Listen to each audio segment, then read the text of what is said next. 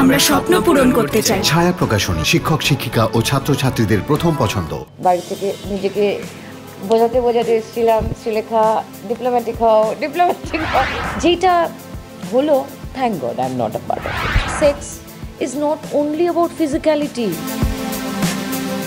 এখান থেকেও হয়।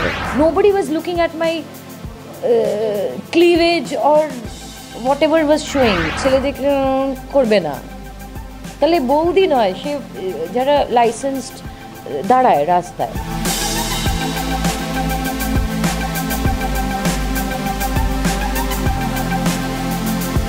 আজকে আমি এই মুহূর্তে ফিসফিসে আছি আর আজকে আমার সঙ্গে আছে শ্রীলেখাদি পরিবেশের পর তাহলে এখন নতুন কি চলছে?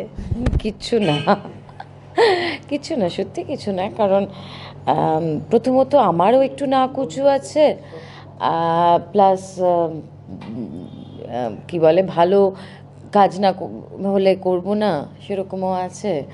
আর সেখানে সেরকম রোলও পাচ্ছি না। ভালো কাজ হওয়ার ফলে একটা মার্ক বেঞ্চমার্ক যখন তৈরি হয়ে যায় তখন নেক্সট ছবিটা মনে হয় যে এটার থেকেও বেটার একটা কিছু হবে। মানে যখন তোমার কাছে ধরো যে অফার আসে মানে ঠিক কোন কোনগুলো তুমি ফার্স্ট নোটিস করো?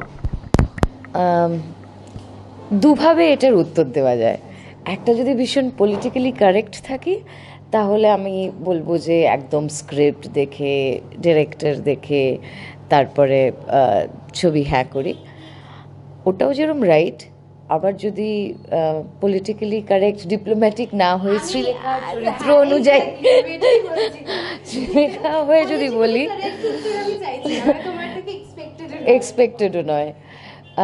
তো দেখো মানুষের তো টাকাটার খুব দরকার। আমি অনেক ছবি করেছি, যেই ছবিগুলো ডাবিংয়ের পর আমি নিজের ছবি হলে গিয়ে দেখতেও যাইনি।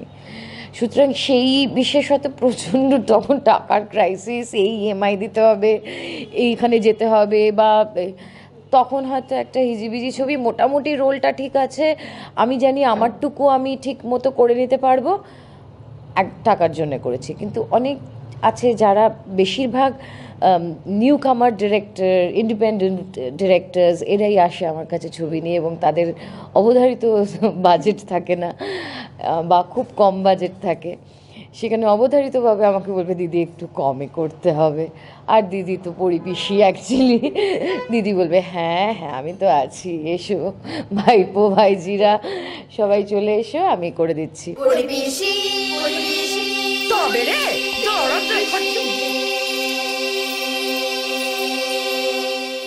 সুতরাং দুটোই আছে। মানে ভালো ছবির খিদেটাও যেরকম আছে অ্যাট দ্য সেম টাইম আমার অন্য তো কোনো সোর্স অফ ইনকাম নেই, এটাই ইনকাম সুতরাং সেইটার জন্য মাঝে মাঝে এদিক ওদিক ছবি করতে হয়, যেগুলো ততটা আমার মানে মনের খুব কাছের নয়। কিন্তু চেষ্টা করি আমি ভালো যদি একটু ফিনান্সিয়ালি স্টেবল থাকে, তাহলে আমি ওই ভিজি ছবিগুলো কাটিয়ে দিই। বাট এই মুহূর্তে তো তুমি ছবি কম করছ মানে করছোই না। আসছেই না ছবি। সব কিছুতে একটা লবি জানো তোমরা এখানে ফেস্টিভ্যাল হয় অমুক কোটারির লোকজন যায় ওখানে আমাকে যদিও আমি বাড়ি থেকে নিজেকে বোঝাতে বোঝাতে এসেছিলাম শ্রীলেখা ডিপ্লোম্যাটিক হও ডিপ্লোম্যাটিক হও। না সেটাও কিন্তু একটা সেটা কিন্তু একটা কারণ মানে আমার বন্ধু বান্ধবেরা বলে বা আমার বাবা বলে যে একটু ইয়ে করে কথা বলতে শেখো। যে ইন্ডাস্ট্রিতে রয়েছো সেই ইন্ডাস্ট্রিতে ওরকম সবসময় সাদাকে সাদা কালোকে কালো বলতে নেই। কিন্তু এই সাদাকে সাদা কালো সাদা মানে কালোকে কালো বলতে বলতে তো অনেক বছর কাটিয়ে ফেললে। এক্স্যাক্টলি তাই। তো এত বছর যখন কাটিয়ে ফেললাম আর আরও অনেক বছর আছি আছি থাকব আমি তো লম্বা রেসের ঘোড়াই বলি আমি নিজেকে। সুতরাং আমার মনে হয় নিজেকে আর এই পর্যায়ে এসে আর নিজেকে পরিবর্তন করার কিছু আছে। আমার যখন জ্ঞান ফেরে আমি দেখি আমি বিছানায় শুয়ে হাসপাতালে বিছানা। আর বারবার সব অন্ধকার হয়ে যাচ্ছিল।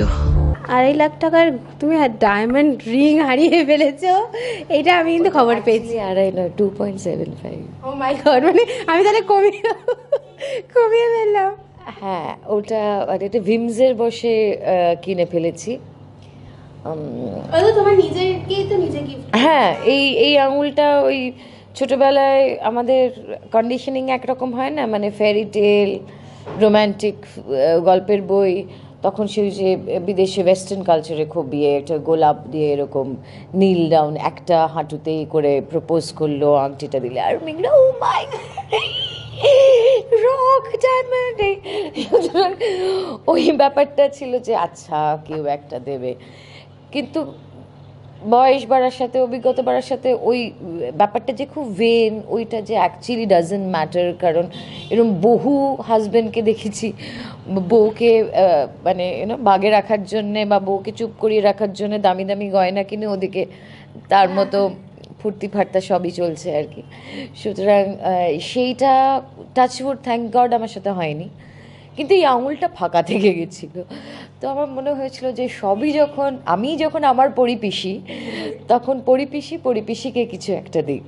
মানে আই ডিজার্ভ দিস মানে রিটেল থেরাপি তো ভীষণভাবে করি আর কি আমি। তো যাচ্ছি, এখানে পাশ দিয়ে হঠাৎ চোখে পড়ল একটা বড় গয়নার দোকান আর কি খুবই এস্টাবলিশড চলে গেলাম দুম করে।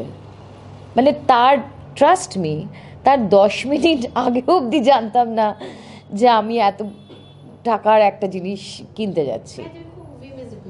ভীষণ সেজন্যই বোধ হয় আর্টিস্ট অ্যাকচুয়ালি সেটাও একটা ফ্যাক্ট বোধ হয় ভিমসে চলি দুম করে রেগে যাই আবার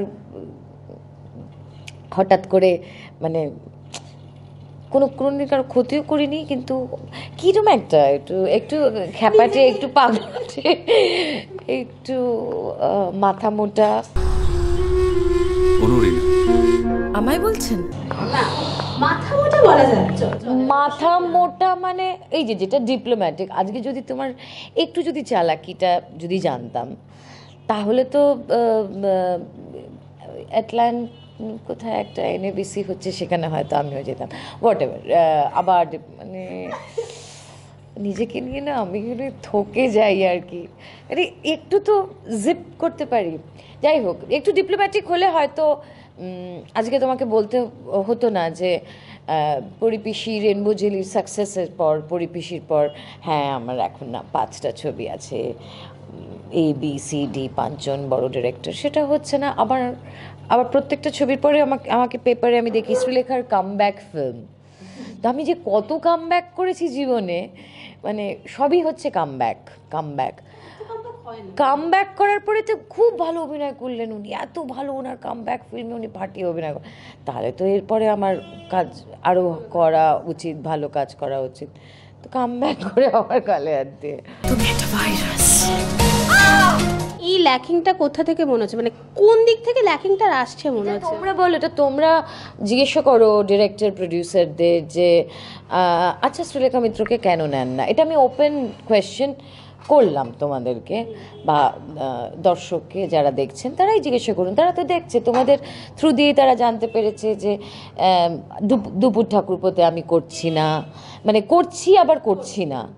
সুতরাং তোমরাই জিজ্ঞাসা করো। আজকে তোমরা যখন এত ভালোবাসো আমার পাশে দাঁড়াচ্ছ পরিবেশীর পাশে দাঁড়াচ্ছ তখন আমি এক্সপেক্ট করব এবারে তোমরাই আমার হয়ে জিজ্ঞাসা করো যে কেন আহ, শ্রীলেখাদি পরিবেশী বা রেনবোজেলি সাকসেসের পরে কেন শ্রীলেখাদিকে ভালো ছবিতে আপনারা নিচ্ছেন না?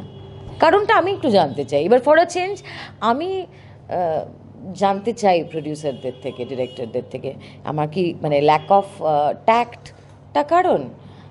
না, কী কারণ? অভিনয় করতে পারি না, দেখতে কুৎসিত মোটা মানে কী কারণ? I I need to understand নাকি যে তুমি বললে এত দিন হয়ে গেল, এত, নাকি প্রত্যেক দিন ঘুম থেকে উঠে ফোন করে কেমন আছো? গুড মর্নিং কি কি খবর? কবে দেখাবে এটা করতে পারি না। নাকি বয়ফ্রেন্ড নেই বলে producer director hero so I need to understand তাহলে আমি মানে যদি কোনো দিন আমার মেয়ে অভিনয় করতে চায়, তাহলে আমি ওকে এটা শেখাবো যে, বাবু, সোজা কথা সোজাভাবে বলতে নেই, সত্যি কথা বলতে নেই, মিথ্যে বলবে। আর একটু ধান্দাবাজ হবে আর একটু এইটা হবে, এইগুলো তো আমার শেখাবো। সুতরাং আই নিড টু আন্ডারস্ট্যান্ড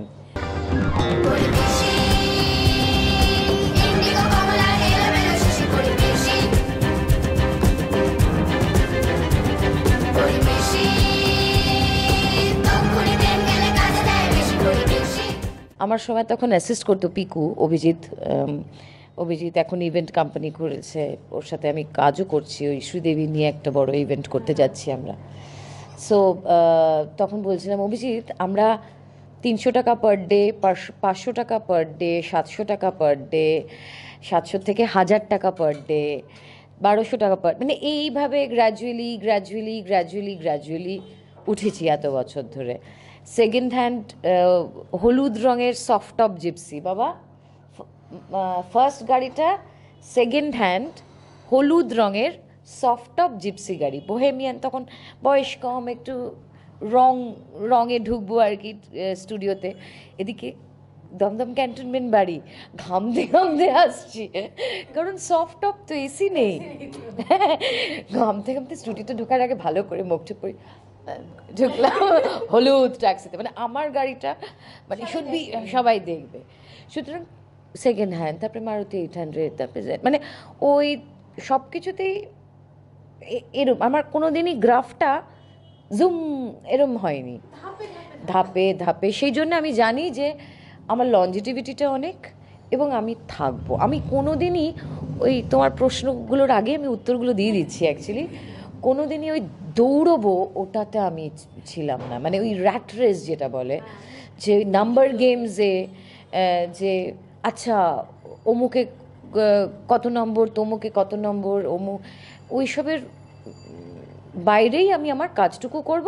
হ্যাঁ আমার মোটামুটি একটা সচ্ছলতা থাকবে। আই এম হ্যাপি সর্টেড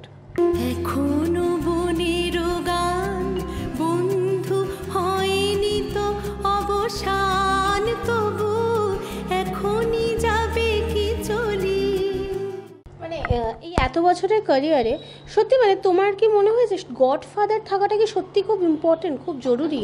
জানি না গো, আমি সেই কারণেই প্রশ্ন করছি যে আজকে অডিয়েন্স কথা বলুন। আজকে যখন দুপুর ঠাকুরপো এইটা হয়েছিল আমার সাথে, তখন আমি ফেসবুক বা বিভিন্ন জায়গা থেকে প্রচুর ফলোয়ার্স ফ্রেন্ডসদের দেখেছিলাম যারা আমার হয়ে ওই প্রযোজনা, প্রযোজক সংস্থাকে প্রশ্ন করছে যে, বলছে, কেন সুলেখা নয়? সুলেখা ছাড়া এটা হবেই না। বা, অমুক, বা, এটা কেন করা হলো? সো আমাকে, আমি যখন এতটাই তখন অপমানিত হয়েছিলাম কিন্তু আমার তো কিছু করতে লাগেনি। লোকজনই বলেছে, লোকজনই করেছে, সুতরাং আজকে আমি তাদেরকেই মানে কি বলব, অনুরোধ বলব না নিবেদন বলব না কি বলব আমি জানি না, যে আপনারাই বলুন যে তাদেরকে জিজ্ঞাসা করুন যে মাই নট শ্রীলেখা? কারণ আমি ব্যাকিংটা প্রথম থেকে পাইনি, মানুষ কিরম জানো না দেখতে দেখতে দেখতে দেখতে জিনিসটা হয়। ও আচ্ছা অমুকে হঠাৎ কেউ একটা, কোনো একটা ছবি করল যেটা ইউটিউবে প্রচণ্ড এ হয়ে গেল বা- খুব বিতর্ক সৃষ্টি হলো। আমার তো কোনো বিতর্কও হয়নি জীবনে লাইফে কারণ আমি তো ভীষণভাবে আমার ব্যক্তিগত জীবনটাকে আমি আমার ব্যক্তিগত জীবন রেখেছি। সুতরাং আমার ওই ভাবে ওই বিতর্কর দিকটা কিন্তু তোমার পাওয়া যায় না। যাবেও না আশা করি। না মানে এই যে ধরো দুপুর ঠাকুরপুর কথাই আমি বলছি যে আমিই তোমাকে সকালবেলা ফোন করেছিলাম যে আমি শুনলাম দুপুর ঠাকুরপো তুমি করছ। আবার আমি আরেকদিন সকালবেলা ফোন করে বলছি তুমি দুপুর ঠাকুরপো করছ না? সো এই যে ফেজটা মানে হঠাৎ করে দুপুর ঠাকুরপো না করার পেছনের রহস্যটা কি? খুব ভালো আমি করছি না। কারণ তারপরে যারা লোকজন সেই পার্টিকুলার মানে ওদের গান বা ওদের যেভাবে প্রেজেন্টেশন যেটা হয়েছে থ্যাংক গড মানে হয়তো ওখানেই আমার চুলোচুলি লাগতো না কি হতো ভগবান জানে। যে মানে যা হয় ভালোর জন্য হয় বোধহয় আমার ক্ষেত্রে মানে যেটা হয়েছে সেই সময় অ্যাপারেন্টলি ডেফিনেটলি ওই জায়গাটা আমার খুব অপমানিত দেখেছি যে কোনো আর্টিস্ট কেন? মানে আর্টিস্টরা আমরা যেটা বললাম যে আমরা একটু একটু বোকাই হই, একটু ইমো মানে বেশি মানে ইমোশনাল ফুল যেটা বলে। তো ইমোশনাল মানেই ফুল নয় বাট দাঁড়ো খেতে খেতে কথা বলি। খাও না, খুব ভালো হয়েছে। আমাদের মানে আমার তুমি একটা বিশাল কিছু দিয়ে আমার মন জয় করতে হবে না। তুমি আমাকে একটু ভালোভাবে কথা বললে সুলকাদি এটা খাবে? করলে আমি গলে যাব। সুতরাং ছোট্ট মানুষের ব্যবহার, তো এটা আমার কাছে, আমার মনে হলো তারাই আমাকে সিলেক্ট করেছে। আমি তাদের কোনো কাজও দেখিনি ইনফ্যাক্ট আগের সিজনটাও আমি দেখিনি। এত কিছুর পরে তারা ডিসাইড করে নিল আমাকে না জানিয়ে। আমি জানি না কেন। এবং আমি কেন হ্যাঁ লুক সেট লুক টেস্ট যদি জানতাম আমি যেতাম না। আচ্ছা। হুম তো আর কি বলব? সেটা সেইটা আজকে এত বছর কাজ করার পর যদি আমাকে এটার মধ্যে দিয়ে যেতে হয় তাহলে আজকে তুমি যদি একটা নতুন মেয়ে হও আর একজন যদি একটা নতুন ছেলে হয় তাকে কি কিসের মধ্যে দিয়ে যেতে হচ্ছে? এবং সবাই সব কিছু জেনে নিয়ে মেনে নিয়ে চুপচাপ থাকছে কেউ কোনো উচ্চ বাচ্চা করছে না। আমার মল্লিকা আমার মল্লিকা তাহলে কি এটা শুধু একটা ব্যবসা? ইন্ডাস্ট্রি তো ডেফিনেটলি ফিল্ম ইন্ডাস্ট্রি এখান থেকে মানুষের রুজি রুটি আজকে তোমার ওনার আরও সবার রিলেটেড তাদের আমাদের ঘর সংসার চলে সব কিছু চলে। এটা আমাদের জীবিকা। তার মানে এটা একটা ইন্ডাস্ট্রি কিন্তু ফিল্ম যখন বলছি যখন এটাকে আর্ট ফর্ম ধরছি তার মধ্যে তার একটা সুন্দর একটা মেলবন্ধন থাকবে কমার্স এবং আর্টের সুতরাং এটার তো পাল্লাটা একটু বোধহয় কমার্সের দিকে ভারী হয়ে যাচ্ছে। হ্যাঁ সুতরাং একটা ব্যালেন্স কোথাও একটা হয় মানুষ সোচ্চার হবে বা জিনিসটার কীভাবে অ্যাপ্রোচ করা উচিত সেটাকে ভাবতে হবে। সব কিছুতে এখন বিজনেস হয়ে যাচ্ছে। একজন সাংবাদিক তো খুব বড় করে ফেসবুকে লিখেছিলেন রেনবো জেলে নিয়ে, যে বিজনেস হয়নি, এই ওই, সেই জন্য হল থেকে চলে উঠিয়ে দেওয়া হয়েছে। কিন্তু আমরা জানি তো, যার যত বেশি ক্ষমতা তার তার হল বেশি, তার ডিস্ট্রিবিউশন যার ক্ষমতা বেশি যার তার এক্সিবিটার বেশি, পুরোটাই তো একটা গেম প্ল্যানে চলে। সুতরাং সেই জন্যে অনেক ছেলে মেয়ে আছে, শুধু আমাকে লোকজন জানে বলে তুমি জানো বলে আমাকে প্রশ্নটা করতে পারছ। আমার মনে হয় এরকম মানে বিভিন্ন ইনস্টিটিউট থেকে যেই ছেলে মেয়েগুলো আসে, সেই স্বপ্নটা দেখে, ভালো ছবি দেখে, ভালো ছবি তৈরি করব, নতুন কিছু একটা করব, তারা তো প্রডিউসারই পাচ্ছে না। তারা তো, বা ইয়াং ট্যালেন্ট যারা ভালো কোনো কাজ করতে চায়, কাজ তো করতে পারছে না, কাজ করতে দেওয়া হচ্ছে না। আমি শুনেছিলাম যেটা যে তুমিও তুমিও তুমিই বলেছিলে দুপুর ঠাকুরপর লুক সেটে যেটা গেছিলে সেখানে তোমায় তোমার মতের বিরুদ্ধে হয়তো কিছু করতে বলা হয়েছিল তোমাকে। না মতের বিরুদ্ধে মানে আজকে তুমিও গুবদু গাবদু আমিও গুবদু গাবদু হ্যাঁ এবার তুমি জানো তোমাকে হাতটা ঢেকে এরকম একটা জামা পরে তোমায় ঠিকঠাক লাগবে। এবার আমাকে আমা- আমায় তুমি যেরকম দেখছ এবার তার থেকে তুমি যখন একটা আমাকে দুপুর ঠাকুরপো মানে একটা বৌদি যাকে দেখে ঠাকুর ঠাকুরপোরা বিচলিত হয়ে যায় সেইভাবে যদি তুমি বৌদিকে প্রেজেন্ট করো তাহলে তো বৌদিকে সুন্দর করে তোমায় প্রেজেন্ট করতে হবে। নাকি বৌদিকে এমনভাবে প্রেজেন্ট করবে যেখানে বলবে এ বৌদি ভালো কিন্তু একটু এই। সুতরাং আমার আমায় আর স্ক্রিনে আমরা সবাই জানি যা আমাদের এমনি দেখতে লাগে স্ক্রিনে টোয়েন্টি ফাইভ পার্সেন্ট আরও বেশি লাগে লেন্সের কারণে। মানে আমি প্রভূত লোকের কাছে শুনেছি, আপনি তো এত মোটা নন, আপনাকে সামনে থেকে তো লাগে না, তাহলে স্ক্রিনে সুতরাং উত্তর দিতে দিতে আমি ক্লা- ক্লান্ত। এবার আমাকে এমন একটা পোশাক পরানো হলো হলো যেটা মানে নেটের মতো, যেটা আমি বলেছি মশারির মতো।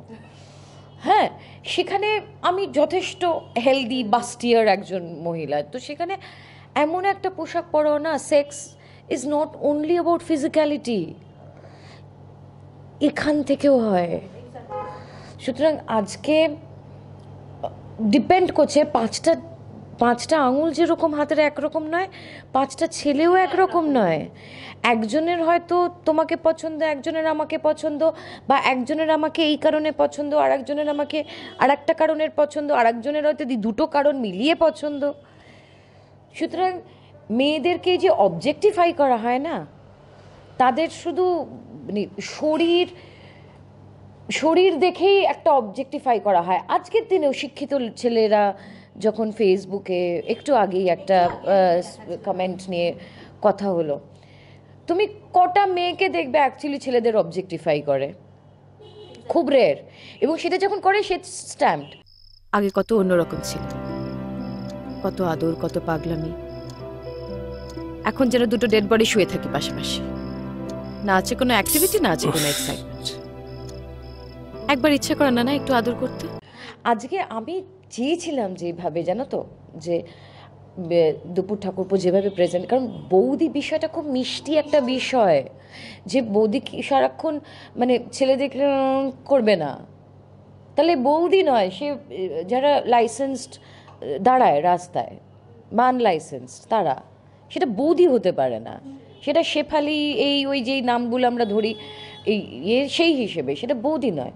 বাঙালির বৌদি বলতে যেই ইমেজটা আমাদের চোখের সামনে ভাসে কাদম্বরী দেবী, চারুলতা বা তরুণ মজুমদারের গল্পে যেই যেরকম বৌদি দেখেছি বা তিন ভুবনের পারে যে একজন মহিলা যিনি সবগুলো মানে রোল প্লে করতে পারে। যে একটা সময় বান্ধবী, যে একটা সময় বোন, যে একটা সময় মা, যে একটা সময় অ্যাসেক্সুয়াল বন্ধু। যার সাথে আমি মানে আমার ডার্কেস্ট কোনো কিছু শেয়ার করতে পারি বৌদি আজকে একটা মেয়ের সাথে এটা করে ফেলেছি ভুল করেছি না? বৌদি হ্যাঁ ঠাকুরপো এটা কিন্তু তুমি ঠিক কর এটা বৌদি ঠাকুরপোটা খুব মিষ্টি একটা বিষয় সেটা যেটা হলো thank God I am not a part of it but অনেক ফুটেজ দিয়ে দিলাম আমরা দুপুর ঠাকুরপোকে আমার কাছে ফিরে এসো। এই ভদ্রলোকে বড্ড শ্রদ্ধা করি। ওনাকে এভাবে পেলে ওসব নিয়ে তুমি ভেবো না। তোমার যা ডিউ আছে নীলা সব চুকিয়ে দেবে। So you may leave sorry professional R personal দুটো বিষয়ে গুলিয়ে ফেলেছিলাম। আমার বোঝা উচিত ছিল। একজন তো, আমি তো আর্টিস্ট আমার তো একটা ভালো লাগা স্ক্রিপ্ট শোনা পছন্দ হওয়া সেসব কিছু আছে। মানে উৎপটাংভাবে সিজন থ্রি করছি। তোমরা সিজন টুতে কথা বলে, না বলে বাদ দিয়ে দিলে, আবার বলছো সিজন থ্রি করছি। মানে চাকরি করি না তো আমি। চাকরি করলে তোমাকে এই টেন্ডারটা বিয়ে করতে হবে, তোমাকে এই টার্গেটটা মিট করতে হবে। একটা বসের কথা অনুযায়ী আমি চললাম। আমি তো আমার বস সেখানে মানে ফ্রি করছি মানে ভালো লাগলে করব।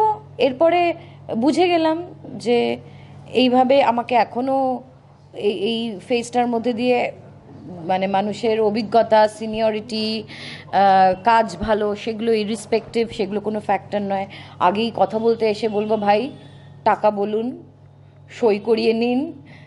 এই সব করে তারপরে কথা বলব, যাতে আমার, আমি কেন আমার মতো আর কারোরই এই জিনিস ফেস না করতে হয়। কিন্তু মানে আমি জানি না আমি আশ্চর্য প্রদীপে তোমাকে দেখেছিলাম।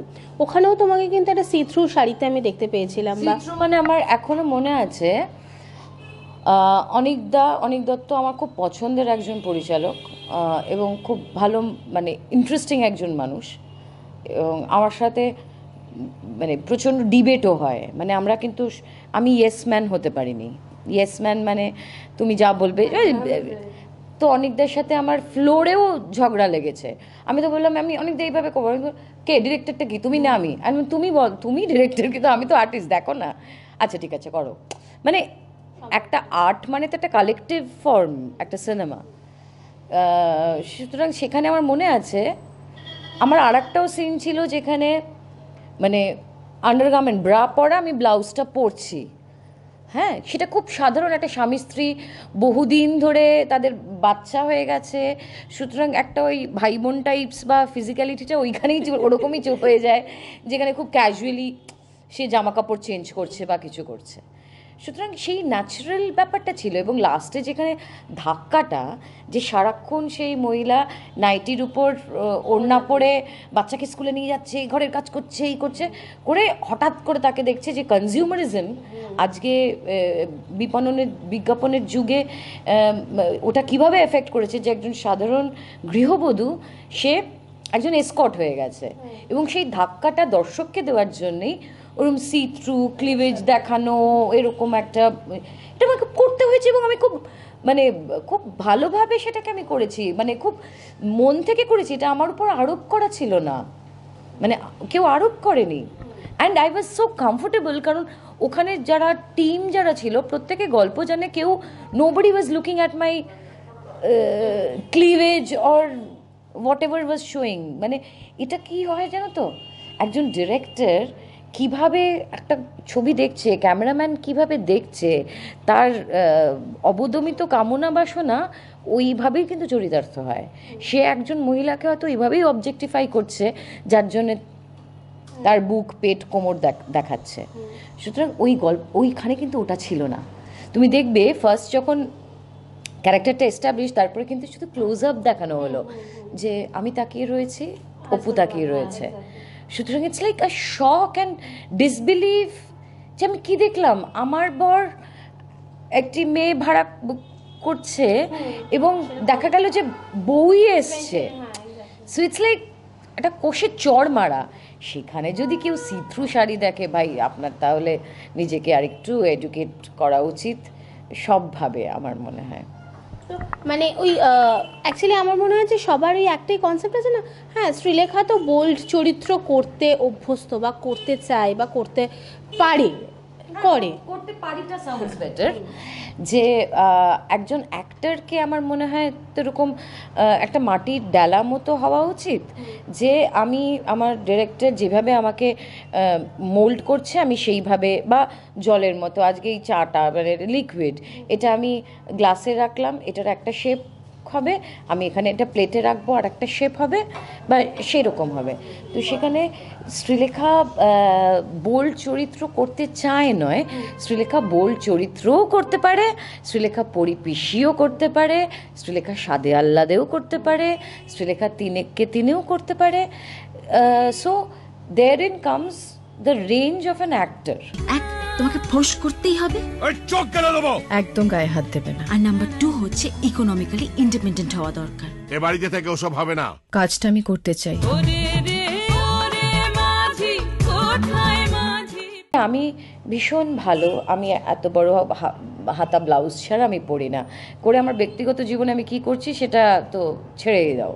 আমি ভীষণ একটা ওরকম ইমেজ নিয়ে করলাম। That is irrelevant to me that is আমি একজন শিল্পী, আমি শিল্পের জন্যে আমি এখানে রয়েছি এবং সেখানে আমার যদি চরিত্রর প্রয়োজন হয়, আমি ডেফিনেটলি যতটুকু আমি কমফোর্টেবল সেটা আমি ডেফিনেটলি করব। সেখানে যদি কেউ মনে করে বোল্ড চরিত্রটা is not about exposing please দর্শক বন্ধু বোল্ডনেসটা কিন্তু এইখান থেকে আসে।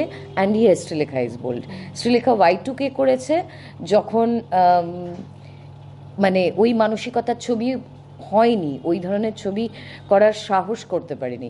সেই সাহসটা শ্রীলেখার আছে, কারণ শ্রীলেখার নিজের প্রতি কনফিডেন্সটা আছে।